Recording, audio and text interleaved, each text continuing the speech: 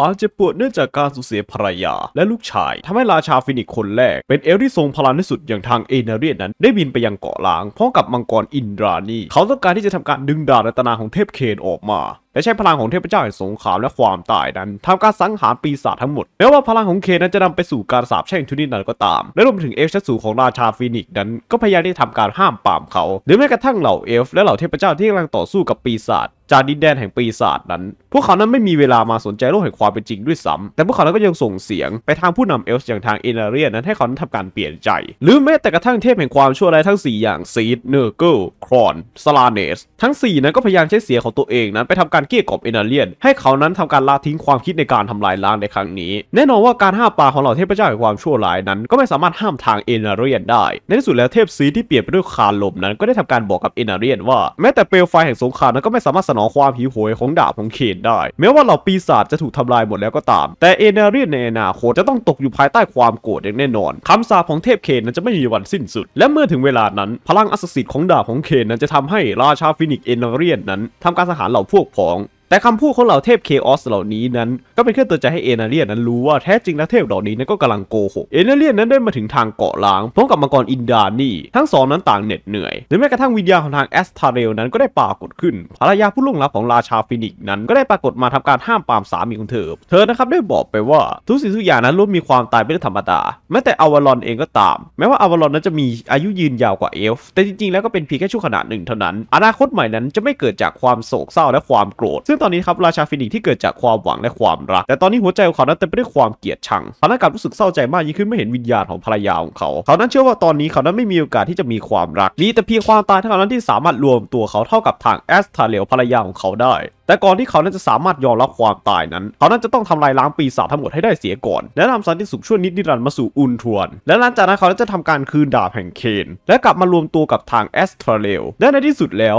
ทางราชาฟีนิกซ์นั้นก็ได้มาถึงใจกลางของเกาะร้าง เขานั้นได้เห็นอาวุธพิเศษที่ปักอยู่บนก้อนหิน มันนั้นเป็นดาบที่เปื้อนเลือดของเทพเคนซึ่งเขามองไม่ชัดเจนว่าแท้จริงแล้วมันนั้นเป็นรูปร่างยังไง มันนั้นมีลักษณะเหมือนกับทั้งขวานทั้งดาบหรือแม้กระทั่งหอกซึ่งดาบที่กำลังปักอยู่ในหินนี้นั้น ถือว่ามีพลังศักดิ์สิทธิ์ที่เขานั้นได้ปรารถนาและในที่สุดแล้วยามที่เขานั้นเข้าไปใกล้ ดาบนั้นก็ได้เกิดหยุดการเปลี่ยนแปลง มันนั้นได้กลายเป็นดาบยาว เอเนเรียนได้ทำการยื่นมือของเขาออกเตียที่กำลังจะแตะที่ดาบนั้นทันใดนั้นดูเหมือนกับว่าโลกนั้นก็กำลังเงียบสงบ ในขณะนี้คำเตือนและการห้ามปรามทั้งหมดนั้นก็ได้ผุดเข้ามาในจิตใจของเอนาเรียน ทั้งเทพแห่งเอลฟ์คาลิดอร์อุนทวนเทพแห่งความโกลาหลทั้งสี่แอสทาเรลอย่างไรเสียก็ตามเอนาเรียนนั้นไม่สนใจสิ่งนี้ เขาเหลือแต่เพียงเปลือกที่ว่างเปล่าอย่างไร้วิญญาณเท่านั้น มีเพียงแต่ดาบแห่งเทพเคนเท่านั้นที่ทำให้เขารู้สึกพอใจ เขาหยุดอยู่ครู่หนึ่งทำการดึงดาบของเทพเจ้าแห่งเลือดขึ้นมา และเมื่อเอนาเรียนนั้นกลับที่อาณาจักรของเขานี่เองครับผมเหล่าเอลฟ์ที่ตอนนี้นั้นได้รับบาดเจ็บจากสงครามมากที่สุดนั้นก็ได้แห่กันไปด้านข้างราชาฟินิกซ์ทันที พวกเขานั้นได้บอกว่าตอนนี้พวกเขานั้นทำการสถาปนาอาณาจักรนาการีทางตอนเหนือของอุนทวน และเริ่มการตอบโต้กับปีศาจอย่างดุเดือด และหลังจากที่เอนาเรียนนั้นได้ดึงดาบศักดิ์สิทธิ์เทพเคนออกมาแล้ว ราชาฟินิกซ์เอนาเรียนนั้นจะได้ทำการดวลกับปีศาจที่ได้ทำการสังหารภรรยาของเขา นั่นก็คือปีศาจนาคาริซึ่งเอนาเรียนนั้นก็ทำการดวลอย่างสิ้นหวังกับทางนาคาริในสถานที่ที่เรียกว่าเอเดเรียน นาคารินั้นแต่เดิมแล้วเขานั้นสามารถมั่นใจได้เลยว่าเขานั้นสามารถสังหารเอนาเรียนได้ แต่สุดท้ายปีศาจนาคารินั้นก็ได้พ่ายแพ้แก่ดาบศักดิ์สิทธิ์ของเทพเคนและในที่สุดแล้วทางเอนาเรียนก็สามารถขับไล่กองทัพเคออสปีศาจนั้นกลับไปยังดินแดนของพวกมันได้ หลังจากนั้นทางเอนาเรียนก็ได้นำคนไปทำการต่อสู้ทั่วทั้งทวีปอุนทวน เนื่องจากพรศักดิ์สิทธิ์ของดาบของเทพเคนนั้นทำให้เอนาเรียนนั้นมีความกล้าหาญมากกว่าครั้งก่อน เกือบที่จะอยู่ยงคงกระพันแต่พลังนั้นก็กลับมีขีดจำกัดเช่นเดียวกัน เนื่องจากว่ากองทัพของราชาฟีนิกซ์นั้นไม่สามารถปรากฏตัวได้พร้อมกันในเวลาเดียวกันได้ ดังนั้นความหวังในชัยชนะของเอนาเรียนจะได้ลดน้อยลงทำให้เขานั้นเริ่มหงุดหงิด และไม่สามารถรักษาสติได้มากขึ้น และตอนนี้กองทัพของเอนาเรียนนั้นก็ได้กลายเป็นบ้าและบิดเบี้ยว หรือไม่ก็อันตรายถึงชีวิต ในขณะที่กองทัพของเอนาเรียนนั้นกำลังเดินทางนี่เองเขานั้นก็ได้ทำการช่วยเหลือนักพยากรณ์ที่มีชื่อว่าโมราทีซึ่งโมราทีนั้นแท้จริงแล้วเป็นสาวงามจากกองทัพของสลาเนสซึ่งเธอนั้นถือกำเนิดขึ้นในยุคทองก่อนที่โอวันนั้นจะจากไป เมื่อเธอนั้นอายุได้ 11 ปี เธอนั้นก็สามารถปลุกความสามารถในการทำนายอนาคตได้ เธอนั้นได้เห็นการลุกลามของเหล่าเคออสเธอนั้นก็ได้แจ้งเรื่องนี้ให้แก่เจ้าหน้าที่เอลฟ์ของทางอุลทวน เพื่อขอให้เตรียมการรับมือกับหายนะที่กำลังจะเกิดขึ้น แต่ก็ไม่มีใครนั้นเชื่อคำทำนายของเธอเลยและนั้นเธอนั้นจะได้ทำการวางแผนอย่างเงียบๆในใจ อย่างไรเสียก็ตาม เมื่อเธอนั้นได้เผชิญหน้ากับราชาฟีนิกซ์ยังไม่คาดคิดนั้น ซึ่งโมราทีนั้นก็ได้รับความช่วยเหลือจากเอนาเรียน จากการโจมตีของกองทัพสลาเนชได้ทำให้โมราทีนั้นตกหลุมรักทางเอนาเรียนอย่างรวดเร็ว ซึ่งทุกคนนั้นก็สามารถสัมผัสได้เลยว่าตอนนี้โมราทีนั้นได้ทำการตกหลุมรักราชาฟีนิกซ์แล้ว แล้วกับเด็กสาวที่ได้เกิดมีความรักครั้งใหม่ แต่สิ่งที่ทุกคนนั้นไม่คาดคิดก็คือว่าเอนาเรียนที่แต่เดิมนั้นหมกมุ่นอยู่แต่ความโศกเศร้านั้นในไม่ช้าก็ได้ทำการแต่งงานกับทางโมราที ซึ่งผู้หญิงคนนี้นั้นได้แตกต่างจากทางภรรยาเก่าอย่างแอสทาเรลอย่างสิ้นเชิง เธอนั้นได้ให้กำเนิดลูกชายกับทางเอนาเลียนที่มีชื่อว่ามาเลคิด ซึ่งไม่มีใครทราบแน่ชัดว่าแท้จริงแล้วเอนาเลียนนั้นมีความรู้สึกอย่างไรต่อทางโมราที แต่ในความเป็นจริงแล้ว ความรู้สึกของเอนาเลียนที่มีต่อโมราทีนั้น มันนั้นไม่ใช่ความรักอย่างแน่นอนสิ่งเดียวที่เขารักในตอนนี้ก็คือทั้งอดีต และก็ทางอนาคตของทางแอสทาเรลและสิ่งเดียวที่เป็นความจริงนั่นก็คือเขานั้นได้เกลียดโมราทีซึ่งเอนาเลียนนั้นก็ได้มีความปรารถนาทางร่างกายอย่างดุดันกับทางโมราทีเท่านั้น และเมื่อเอนาเลียนนั้นต้องการทำเช่นนั้นเขาจะวางปัญหาทั้งหมดไว้เบื้องหลังชั่วคราว และทำการพบกับความสงบสุขอย่างดูดดื่มกับทางโมราทีที่เธอนั้นได้เตรียมเอาไว้ ซึ่งในนักวิชาการรุ่นหลังบางคนนั้นก็ได้เชื่อว่าโมราทีนั้นแท้จริงแล้วเป็นศิษย์ของทางสลาเนชและใช้เวทมนต์แห่งเคออสทำให้เอนาเลียนรู้สึกสับสน และในเวลาไม่นานก็ได้มีข่าวลือร้ายนั้นแพร่สะพัดไปทั่วราชสำนักของราชาฟีนิกซ์ ว่ากันว่าในเมืองนาการิสนั้นเหล่าเอลฟ์นั้นไม่เชื่ออีกต่อไปว่าพวกเขานั้นสามารถเอาชนะปีศาจจากเคออสได้ ดังนั้นพวกเขานั้นจะได้ทำการปล่อยตัวตามใจอย่างไม่มีที่สิ้นสุด พวกเขานั้นแสวงหาความสงบสุข ทั้งการล่าสัตว์และและการตอบสนองกิจกรรมนองเลือดต่างๆ ให้มันนั้นกลายเป็นเรื่องปกติมากยิ่งขึ้น และจนกระทั่งวันหนึ่งเพื่อนๆของเอนาเรียนนั้นก็ทนไม่ไหวอีกต่อไป พวกเขาได้ได้ออกจากราชสำนักของราชาฟีนิกซ์จากทางเอนาเรียนและทางโมราทีไป หรือแม้กระทั่งผู้ฝึกมังกรอย่างทางคาเลดอร์นั้นก็ยังนำกองทัพของเขากลับไปยังบ้านเกิดทางตอนใต้ ซึ่งการจากไปของทางคาเลดอร์ด้วยเอง ราชาฟีนิกซ์เอนาเรียนนั้นก็เต็มไปด้วยความโกรธแค้นเขารู้สึกเหมือนกับว่าเขานั้นได้ถูกทรยศ และเขานั้นก็รู้สึกด้วยว่าทางทวีอุนทัวนั้นจะต้องตกอยู่ภายใต้สงครามกลางเมืองของเหล่าเอฟในไม่ช้าอย่างไรเสียก็ตามก่อนที่เอนาเรียนั้นจะทำการปล่อยให้กองกำลังของเขาเข้าโจมตีกองทัพในเคออสอีกครั้งนั้นคลื่นปีศาจขนาดใหญ่และดุดันจำนวนมาก ก็ได้ถาโถมเข้ามา ซึ่งเหล่าเอลทุกคนยกเว้นเอนาเลียนก็ได้รู้อย่างชัดเจนว่าสงครามนั้นกำลังจะสิ้นสุดลง อุนทัวนั้นก็ถึงการล่มสลาย โลกทั้งโลกนั้นก็กำลังจะถูกกลืนหายไปด้วยความมืดและในที่สุดแล้วเมื่อ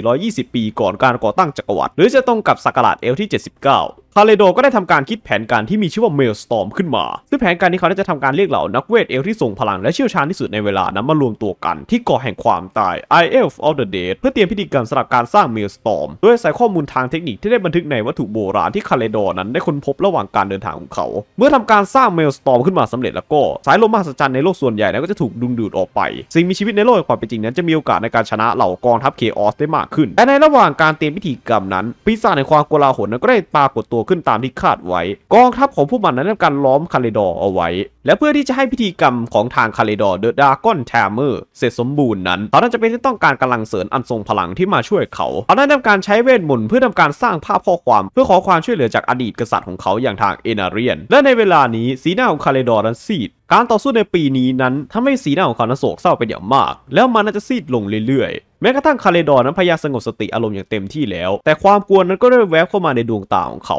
และนี่เป็นครั้งแรกที่ดวงตาของทางคาเลดอร์นั้นได้เผยให้เห็นอารมณ์อันซับซ้อน ที่แสดงผ่านข้อความต่อหน้าทางราชาฟีนิกซ์ แต่ทางความโกรธทางเอนาเลียนนั้นก็ยังแผดเผาในใจเขา แต่เหตุผลในการทรยศของทางคาเลดอร์นั้นก็ถือว่าเป็นทางเลือกถูกต้องจริงๆมันนั้นเป็นเพียงความภาคภูมิใจของทางเอนาเลียนที่ป้องกันไม่ให้เขานั้นยอมรับความโง่เขลาของตัวเอง แต่ไม่ว่าอย่างไรเสียก็ตาม เมื่อวันโลกาวินาศของเหล่าเอลฟ์ทั้งหมดนั้นมาถึงเอนาเลียนนั้นจะตัดสินใจที่ทำการต่อสู้ครั้งสุดท้ายเขานั้นตัดสินใจที่ละทิ้งการทรยศของทางคาเลดอร์เอาไว้ให้เสร็จเรื่องก่อนแล้วค่อยทางการจับทางคาเลดอร์นั้นมาประหาร หากคาถาของทางคาเลดอร์ the Dragontamer นั้นล้มเหลวแล้วก็ทวีปอุลทวนนั้นจะพังทลายลง และจะจมดิ่งลงสู่ทะเลอย่างถาวร เอนาเลียนั้นจะเป็นที่ต้องเข้าร่วมในการต่อสู้ครั้งสุดท้าย เพื่อเคลียร์ทางให้แก่ทางคาเลดอร์ซึ่งทางโมราทีนะครับก็ได้ทำการขอร้องให้เอนาเลียนนั้น อย่าไปทำการต่อสู้พร้อมกับทางคาเลดอร์เพราะถ้าว่าเธอนั้นได้เห็นนิมิตว่าถ้าหากว่าเอนาเลียนนั้นเดินทางไปยังก่อแห่งความตาย I L of the Dead นั้น เขานั้นจะต้องตายกับการต่อสู้กับปีศาจแน่นอน และถ้าเกิดว่าเอนาเลียนนั้นยอมละทิ้งคาเลดอร์แล้วก็จะมีหนทางมากมายสำหรับเราทั้งคู่ กับทั้งมาเลคิดที่สามารถเอาชีวิตรอดจากวันสิ้นโลกนี้และเดินทางไปสู่โลกใบใหม่ด้วยกัน ซึ่งเดิมทีแล้วทางโมราที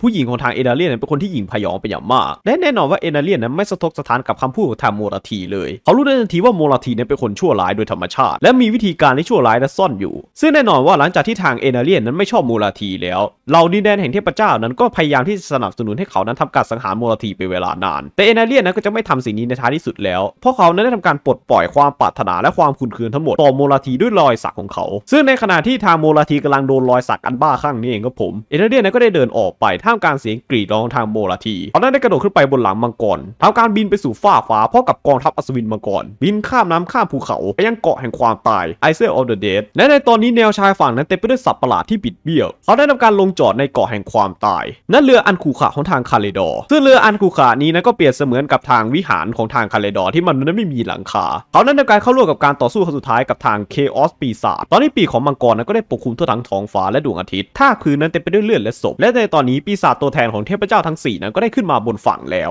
อันประกอบด้วยไคลอสเดอะเฟดเวเวอร์ นาคาริกอเทอร์กูเกิลสฟิลฮากิมเดียดเอ็กซ์พวกเขานั้ทำการท้าทายเอเนเลียน แล้วก็ตายด้วยดาบของเอเนเลียนทีละตัว และรวมไปถึงทางนาคาริด้วย ซึ่งหลังจากที่เขานั้นได้ถูกเอเนเลียนสังหาร มันนั้นก็ไม่ได้กลับไปที่ดินแดนในความโกลาหลและได้ถูกขังอยู่ใน Maelstrom ที่สร้างขึ้นโดยทาง ผู้ฝึกมังกรอย่างคาเลดอร์และนอกจากนี้นั้นมังกรอินดรานี่มังกรของทางเอเนเลียนนั้นก็ได้รับบาดเจ็บสาหัสในการต่อสู้กับปีศาจในอีกด้านหนึ่งทางคาเลดอร์ Dragontamer นั้น ร่างกายของเขานั้นก็ได้เหี่ยวเฉาอย่างรวดเร็ว เริ่มกลายเป็นสีดำเนื่องจากพลังเวทมนต์อันแข็งแกร่ง และร่างของเขานั้นก็ได้สลายหายไปกลายเป็นฝุ่น แต่วิญญาณของทางคาเลดอร์นั้นก็ยังคงยืนอยู่หน้าประตูของทาง Maelstrom และเป็นตาประทับตราตรึงในดวงตาของทางเอเนเลียน และหลังจากที่ได้ทำการสังหารตัวแทนของปีศาจทั้ง 4 แล้ว ดาบของเคนนั้นก็ได้ทำการส่งเสียงคำรามออกมา และทำให้เอเนเลียนนั้นได้ยอมจำนนต่อทางจิตใจของเทพเคนจิตใจของเขานั้นได้จากไปอย่างสิ้นเชิง และเคนนั้นก็บังคับให้ทางเอเนเลียนนั้นทำการสังหารวิญญาณของทางคาเลดอและจะกลายเป็นผู้ทำลายล้างโลกแต่ในที่สุดแล้วเอเนเลียนก็ตัดสินใจที่จะหายตัวไป ไม่มีใครในโลกนี้ทำให้เอเนเลียนนั้นยอมจำนนได้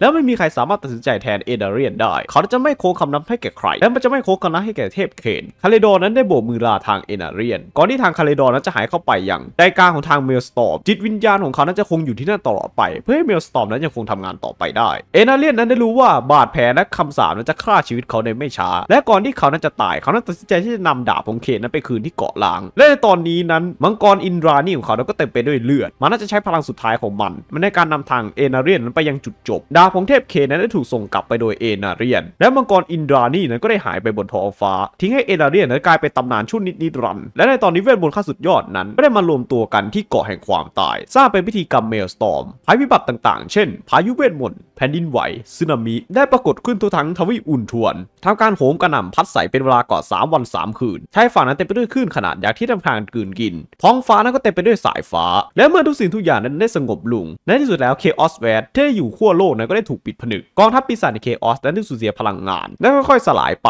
อุลธวนในตอนนี้เป็นเหมือนกับซากปรักพัง แต่ในที่สุดแล้วในหมู่ซากปรักพังนั้น ก็ยังเห็นรุ่งอรุณในความหวังเช่นเดียวกัน สงครามที่กินเวลามานับพันปี ทั้งราชินีนิรันดร์ราชา Phoenix นั้นได้จากไปเหล่าเอลนั้นจะเป็นที่ต้องนำตำแหน่งราชินีนิรันดร์และราชา Phoenix คนใหม่นั้นกลับมา เพื่อที่จะให้อุลธวนนั้นมีอนาคตและในตอนนี้เพราะความหยิ่งยโสของเหล่าเอลชั้นสูง และรวมไปถึงการเปลี่ยนแปลงขั้วอำนาจทั้งหมดนั้น คลื่นใต้น้ำแล้วก็กำลังปั่นป่วน การเลือกตั้งราชา Phoenix นั้นเต็มไปด้วยการสมรู้ร่วมคิดมากมาย หลังจากที่เอเนเลียนได้จากไปแล้ว ทางโมลาทีและลูกชายของเธออย่างทางมาเลคิธนั้น ก็ได้ทำการขึ้นเป็นผู้ปกครองของอาณาจักรนาการีธเอเนเลียนนั้นไม่รู้ว่าลูกชายและก็ทางภรรยาของตัวเองนั้น จะมีแผนสมรู้ร่วมคิดอย่างไรในการเลือกตั้งราชา Phoenix และพวกเขานั้นจะมีบทบาทในช่วงอีกหลายปีต่อจากนี้ในเรื่องราวหลังจากนี้ก็จะเป็นการเข้าอีเวนต์ใหญ่แล้วนะครับ ของทาง Warhammer Old World Fantasy นั่นเอง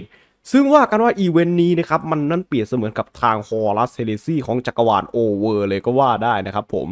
ซึ่งหลายคนก็อาจจะสงสัยอ้าวพี่ Horus Heresy ของ Old World นี่มันไม่ใช่ End Times ใช่ไหมไม่ใช่นะครับ End Times นี่มันจะออกเนี่ยคล้ายๆกับทางไอ Fall of Cadia มากกว่านะ ซึ่งแน่นอนครับผมอีเวนต์ถัดไปของทาง Old World Fantasy ที่ผมจะทำต่อไปนั่นคือ Horus Heresy แห่งจักรวาล Over มาลคิดซันเดอริงนั่นเองครับผมโดเนทมาได้ทางช่องทางตามหน้าจอที่ปรากฏได้เลยครับหรืออยากจะสนับสนุนช่องทางอื่นก็ใต้ description คลิปนี้ได้เลยนะครับช่วงนี้ขอขายของเยอะหน่อยครับเพราะว่าจะหาทุนไปเดินงานสัปดาห์หนังสือ